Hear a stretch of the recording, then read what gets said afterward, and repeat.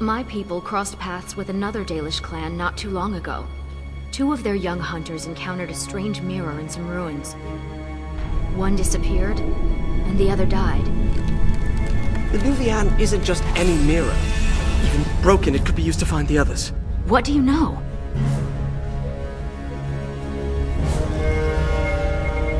Flemeth once told me that temptation lies in the forbidden. Do not follow me, I said. Some doors should never be reopened.